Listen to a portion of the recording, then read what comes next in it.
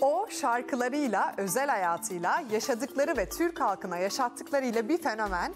Ebru Gündeş'in portresini sizler için araştırdık.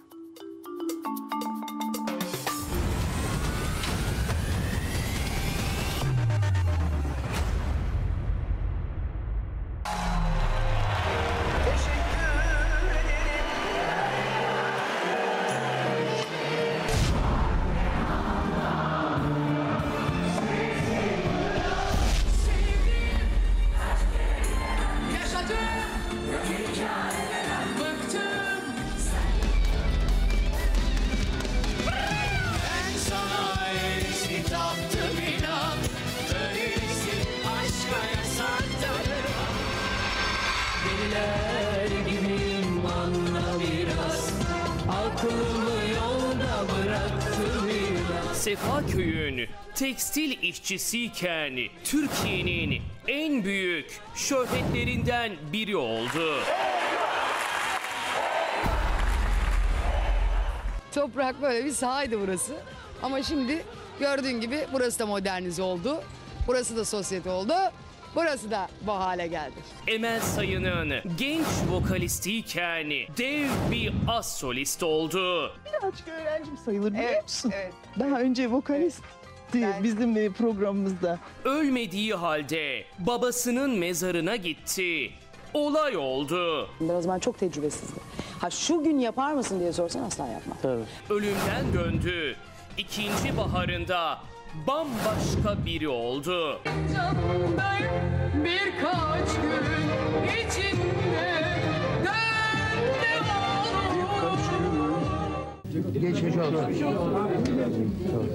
özel hayatıyla, aşklarıyla, polemikleriyle hep gündemde oldu. Evlenmeyi düşünmüyor.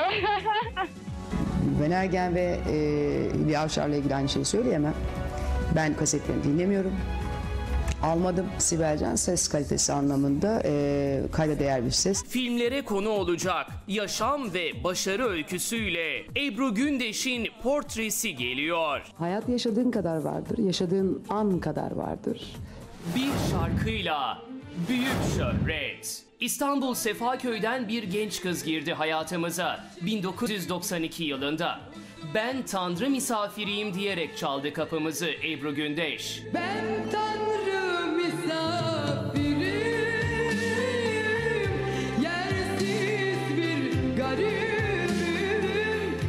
Daha ilk albümüyle milyon satmak kime nasip olur ki? Ona oldu. Çünkü muhteşem bir sesi, harika bir yorumu vardı.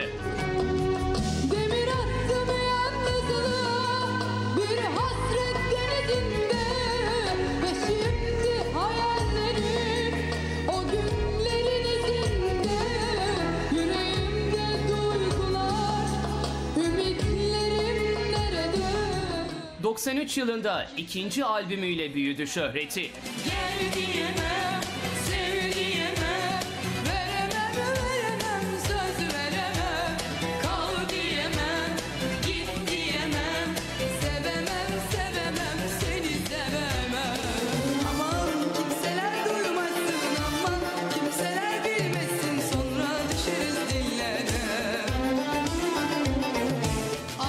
fazla 45 kiloydu. Ama bu minicik bedenden öyle bir ses çıkıyordu ki Türkiye'yi aşık etti kendine. O herkesin tatlı belasıydı artık. Tatlı tatlı tatlı bela Tatlı tatlı tatlı bela Bu ne iş be bu ne da Dünya kalmaz sana bana 17 yaşında geldi şöhret ve para ama ondan da çocukluğunu aldı. Yani 17 yaşında böyle bir camianın içine girersen ne çocukluk kalıyor ne bir şey. Bütün her şeyin kadın oluyorsun. Ağır olmak zorundasın. Ya ben bir yerde bağırmak istiyorum. Bir yerde bir şey yapmak. Hiçbirini yapamıyorsun. Hepsinde kasmak zorundasın. Şöhrete ulaşarak gittiği eski mahallesine geri döndüğünde o artık Ebru Gündeş'ti. Toprak böyle bir sahaydı burası. Ama şimdi gördüğün gibi burası da modernize oldu. Burası da sosyete oldu. Burası da bu hale geldi. Şöhrete adım atmadan önce o sıska kız Emel Sayın'ın vokalistiydi. Yarim gül damlası damlası Yarim gül damlası damlası Emel Sayın vokalini yapan o kıza sahneye dair çok şey öğretmiş, ufkunu açmıştı. Birazcık öğrencim sayılır biliyor Evet, musun? evet. Daha önce vokalistti Ben- bizim e, programımızda. 90'lı yılları ve fırtınalarla esen Ebru Gündeş fırtınası. Ebru Gündeş'in artık 20 yaşına geldiği ve güzelliğiyle büyülediği yıllarda kariyerinin en önemli şarkılarından Fırtınalar buluştu dinleyiciyle. Fırtınalar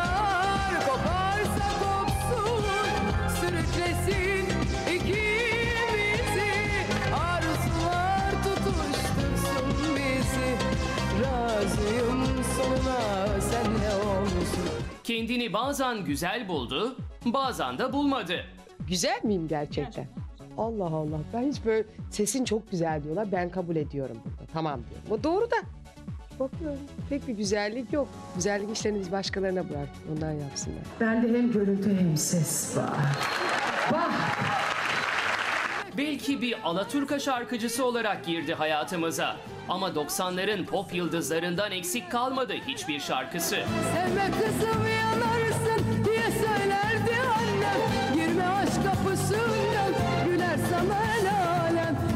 Dinlemedim ah bu kafama. O gün bugündür aşk bana günah. Yoksa ben deli miyim, deli mi, divane miyim? Bir haber uçursam yeter. Sana yine koşa koşa gelirim. Kendine felsefe olarak hep hayatı yaşamayı seçti Ebru Gündeş. Hayat yaşadığın kadar vardır, yaşadığın an kadar vardır. Yaşadığın saniye ya da salise kadar vardır. Onun üstünde fazla bir şeyi arzu etmenin manası yok. Sen Allah'ın bir lütfusun, gözlerimin nurusun. Seni gören şifa bulur, gel gönlüm şifa bulsun. Seni seven aşkı bulur, gel de gönlüm aşka. Her konseri bir olay, her giydiği kıyafeti manşetti. Beraber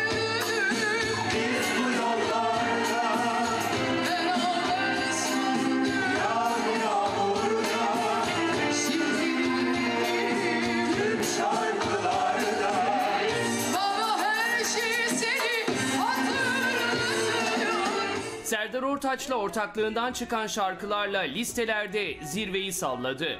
Tüm erkeklerin kulağını çektiği şarkı onlardan biriydi. Nur hacılardan hocalardan bir merhamet bekler İçtikçe sarhoş olur tüm erkekler Ocağında uyuyunca bir kuş gibiler Dışarıda aslan olur tüm erkekler Korkutan hastalık ve yalvaran milyonları. Dön ne olur Ebru. 1999 yılında çıkaracağı albümün basın toplantısında Ebru Gündeş'in hayatının dönüm noktalarından biri yaşandı. Birkaç gün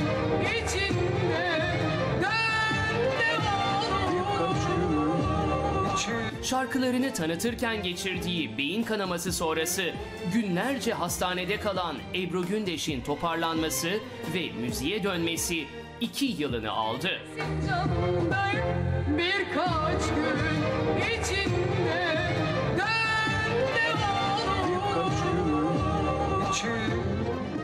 Hastaneden taburcu olup geri döndüğünde milyonlar bu görüntüye kilitlenmişti. Çıktığı bir canlı yayında o zamanki dostları Alişan ve Mahsun Kırmızıgül'ün sürpriziyle duygusal anlar yaşamıştı Gündeş. Çingenem çingenem Kara gözlü çingenem Aşkınla tutuşup yandım çingenem Çingenem çingenem Kara gözlü çingenem Aşkınla tutuşup yandım çingenem Ee, onu çok seviyorum. Yani bugün çok mutluyum aslında. Çünkü onu böyle televizyonda görünce çok sevindim. Hastanede gittim ama ee, demek ki Allah'ın sevgili kuluymuş. 2001 yılında seslendirdiği Ahtım Olsun'un sözleri neredeyse o günleri anlatıyordu. Gençliğim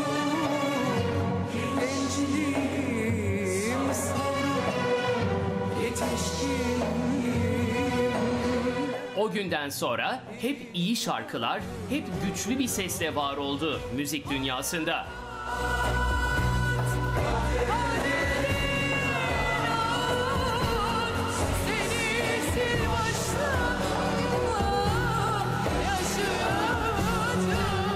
Evlilikleri ve olay yaratan aşkları. İlk evliliğini henüz 16 yaşındayken ve bir konfeksiyon işçisiyken Hamdi Vardar'la yaptı Ebru Gündeş. Çocuktu ve bu evlilik fazla sürmedi. Devir bitti kabul edelim O evlilikten yıllar sonra bakın nasıl anlatıyordu Hamdi Vardar'la yaptığı evliliği. bir akrabamızın düğününde ben mikrofonu aldım kafama esti şarkı söyledim. Bu kaseti de işte Hamdi seyrediyor. Aa diyor ben diyor işte istediğim buydu benim. Böyleydi şöyleydi beni beğeniyorlar tabii eve geliyorlar istemeye benim ağzımda pabuç kadar sakız. Bir geldiler iki geldiler üçüncüde de annem nasıl bir galyana geldi bilmiyorum ama veriyorum gitti. Ve sonuçta ben Belçika'ya gittim. Ve mutsuz bir evlilik yaptım. Şöhretin ilk yıllarında Abdullah Gencal'la yaşadığı birliktelik de kısa sürdü. Yüzük takmıştı Abdullah Gencal'la ama bu yüzük bir nişan yüzüğü olmadı hiçbir zaman. Bana alınmış bir yüzüktü, hediye bir yüzüktü ve bu nişan olarak e, lanse edildi gazetelerde. Sonrasında hayatına Levent Akkaş ve Fırtınalar dizisinde birlikte rol aldığı Kerem Alışık girdi. Lütfen otur şuraya. Şimdi ellerini uzat. Kerem Alışık'la ilişkisi bittikten sonra hakkında çıkan iddialara isyan ediyordu Ebru Gündeş. Belki yıllarca uygulayamayacağı kararları bugünlerde uyguluyor ve o yıllarda söylediği gibi yaşıyor Gündeş. Ve insanların artık onu alıp oraya yazması, bunu alıp bunu buraya yazması beni hakikaten işimden soğuttu. Ee, şey düşünmeye başladım artık işimi bırakayım ha. Yani ortalıklarda gözükmeyeyim. Gece sahneye çıkmayayım. Sadece kaset ve e, klip yapayım.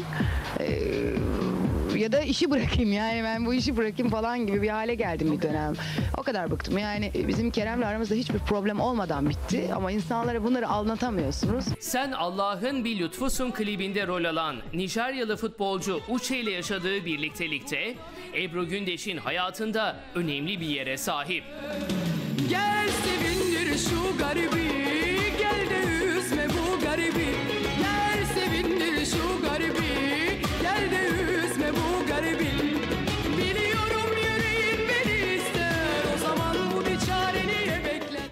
Uçe'den sonra yaşadığı birçok ilişki oldu ama menajer Stelio Pipis'le birlikteliği uzun süre konuşulmuştu. Mum gibi durma öyle Bana aşkını söyle Stelio Pipis'le evlilik arefesinden döndü Ebru Gündeş. Hiç evlenme teklif etti mi Selvi Bey? Etti. Ne dediniz siz? Sonra konuşuruz dedim. Sonra ben ona evlenme teklif ettim. O da bana sonra konuşuruz dedi. Böyle gelişti. Bir gün ikimiz de aynı anda evlenme teklif edip kabul edeceğiz ya da etmeyeceğiz. Bu büyük aşkın ardından hayatına giren diğer bir isim olan avukat Ömer Durak'la ikinci evliliğini yaptı Ebru Gündeş. Yerde kal geri gelme Ben kalbimi avuturum Ancak büyük umutlarla yaptığı evlilik sadece üç buçuk ay sürdü. Ömer Durak'tan sonra mutluluğu hayatına giren Süha Yavuz'la buldu Gündeş. Mutlu giden bir ilişkim var. Ailem sağlıklı. Ben sağlıklıyım. Aşk var, sevgi var. Daha ne olsun? Evlilik olsun. İnşallah. Seni sevmekten başka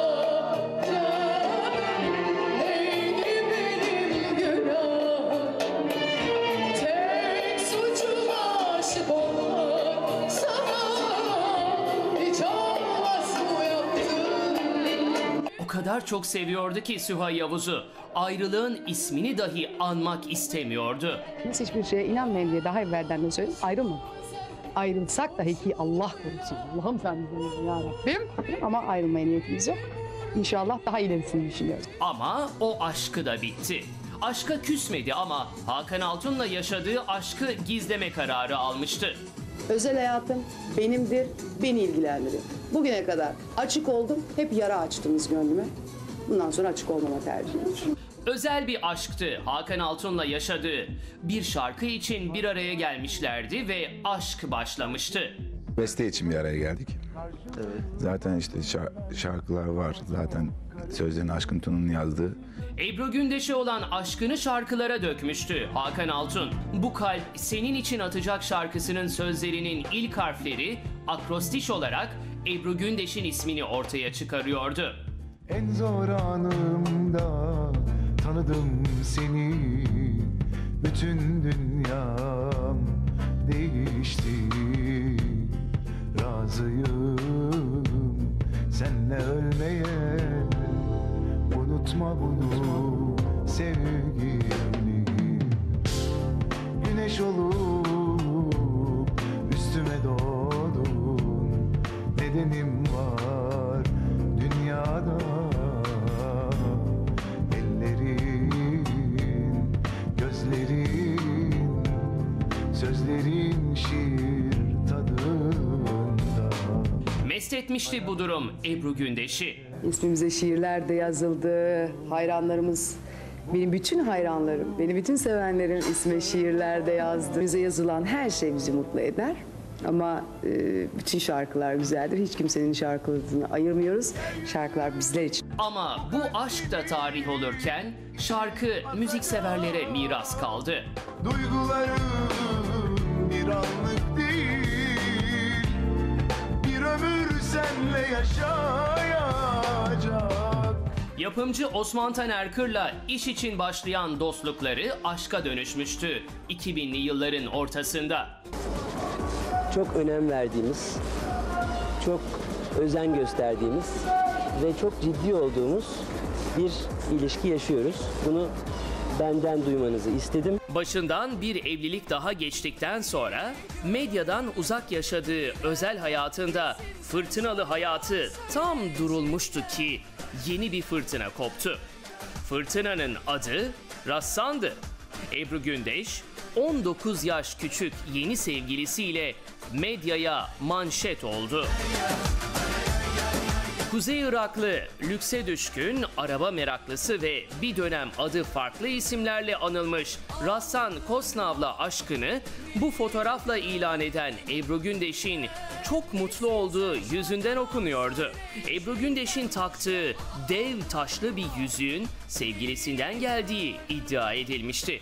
Ebru Gündeş halen Rassan Kosnav'la aşkını devam ettiriyor öldü dediği babasıyla yaşadığı sorunlarla gündem oldu. Şöhret olduğu ilk yıllarda bir gazete haberinde Ebru Gündeş öldü dediği babasının mezarının başında dua ederken fotoğraflanmış. Bak babacığım kızın artık ünlü demişti.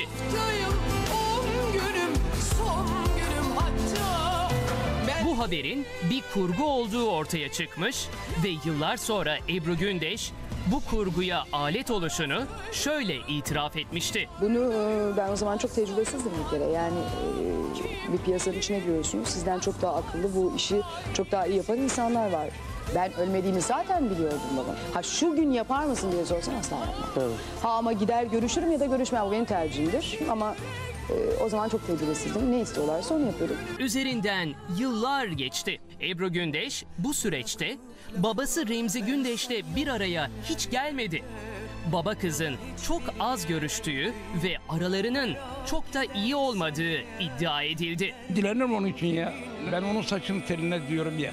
Bir toz konsa bile üflerim o tozu. Ebru Gündeş'in babası birkaç sene evvel vefat etti ve sessiz sedasız toprağa verildi. Kaç bahar sonra iyileşerek bir haftayım Kendisini 4 yaşında terk eden babasının ölüm haberini kimselere duyurmadı Ebru Gündeş. 17 yaşına falan geldiğim dönemde bir kez babamı gördüm.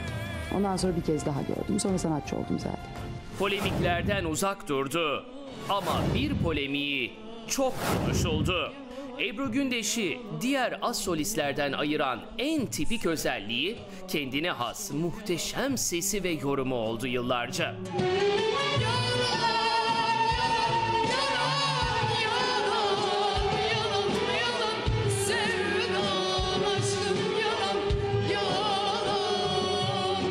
Sesinin güzelliğine dair pek çok kez mütevazı olmayı seçti ama bir röportajında kullandığı cümleler iddialıydı.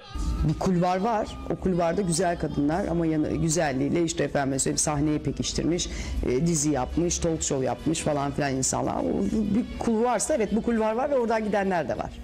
Ama benim kulvarımda insan yok.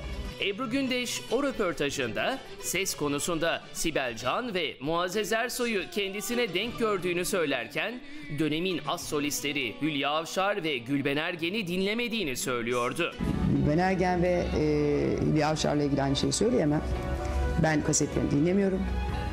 Almadım. Sibel Can, Muazzez Ersoy, Ebru Gündeş. Bunlar şarkı söylemesini becerebilen insanlardır en azından. Ebru Gündeş'in bu sözlerine cevap verme gereği hisseden ilk isim Gülben Ergen olmuştu. Gülben Ergen belki bugün dinlese pişman olacağı şu cümleleri sarf etti. Aynı kulvarda olmadığımızı söylemiş. Elbette ki aynı kulvarda olamayız. Onun bizim yani Hülya Avşar'ın Gülben Ergen'in kulvarına yetişmesi için daha çok fırın ekmek yemesi lazım. Bir sesin avaz avaz bağırması e, çok da makbul bir şey değildir.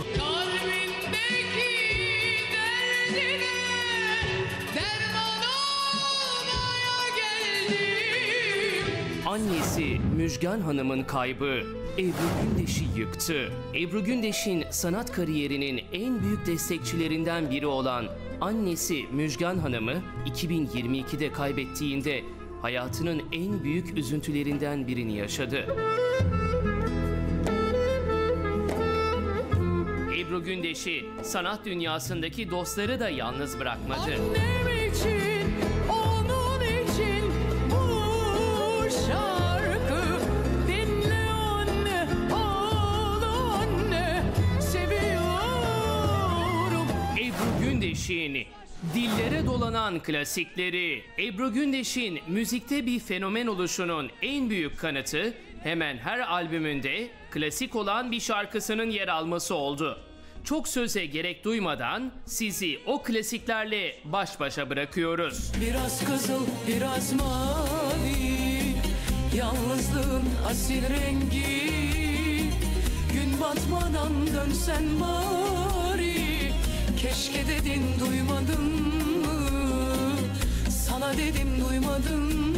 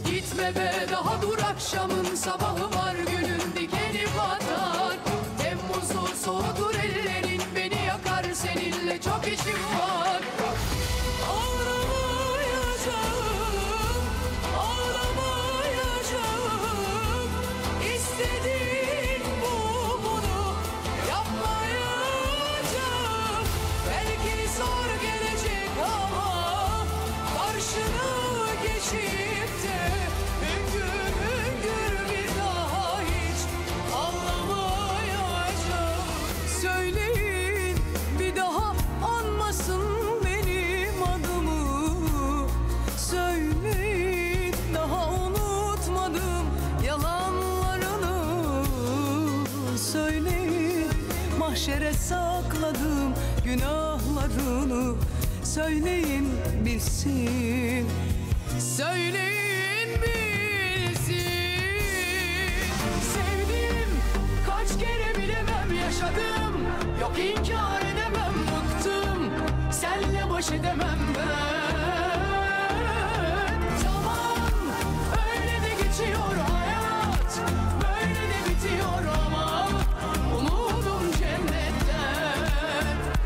Çalışmalardaki yorumuyla büyüledi. Son yıllarda pop şarkılara yaptığı coverlar Ebru Gündeş'in farklı bir kitleye ulaşmasını sağladı. Çelik'in Sen Yoluna Ben Yoluma şarkısıyla başladı bu çalışmalar. Şu aşkın hiç adaleti yok mu?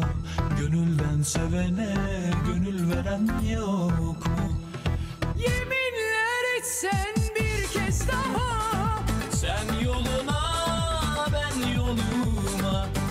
Gündeş, Kenan Doğulu'nun Yaparım Bilirsin şarkısına da güzel bir yorum kattı. Yalnızlar anlar beni her halimi sevdiğimi Hayatta terk etmem seni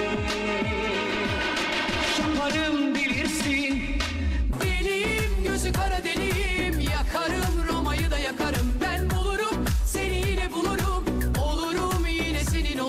Tarkan'ın ünlü İkimizin Yerine şarkısını da başarıyla yorumladı Gündeş.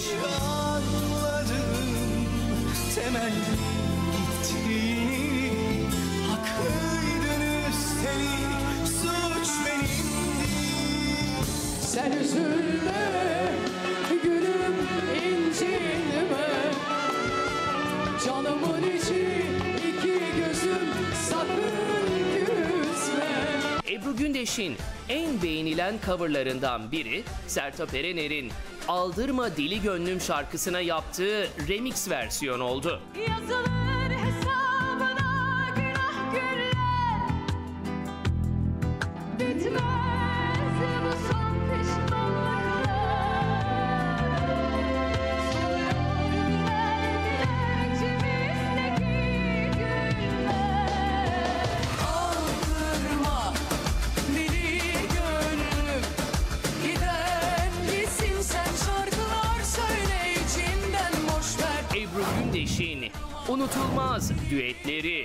Ebru Gündeş'i düetlerle dinlemek bir başka.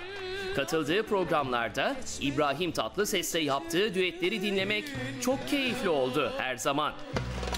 Bu gönül azmı kahrını çekti Bensiz aşkın neye yarar ki Kaç kere kurdun yerlere attın Yaralı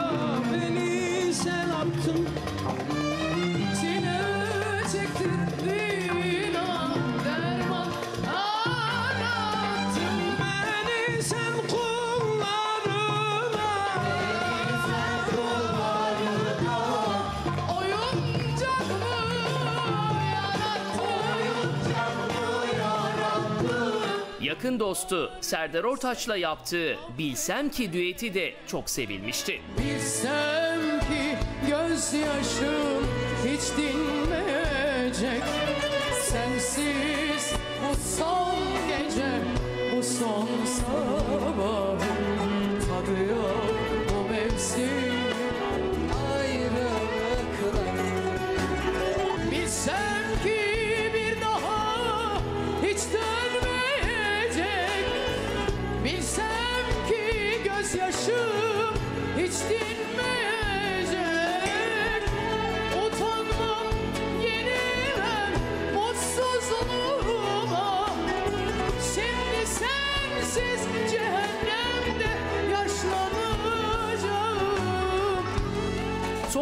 Son yıllarda Murat Boz'la iki sevilen düete imza attı Ebru Gündeş. Her iki düet çalışmada ilgi gördü.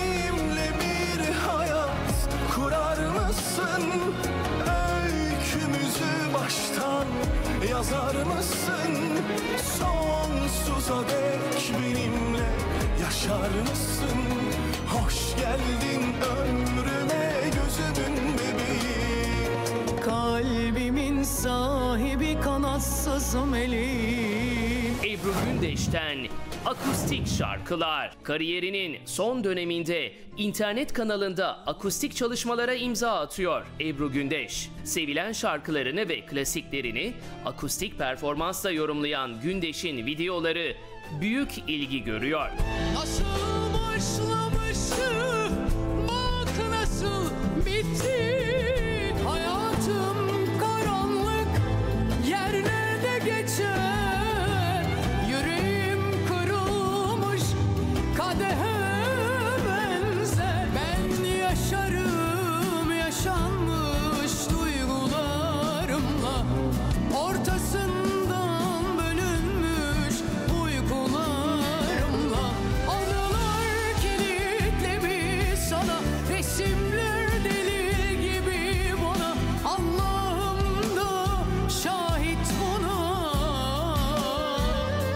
Şöhretin ilk yıllarında dizileriyle ekranda yer aldı.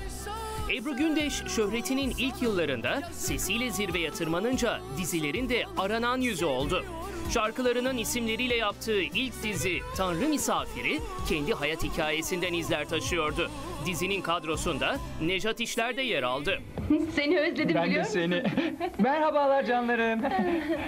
Öpeyim anneciğim. Hoş geldin evladım.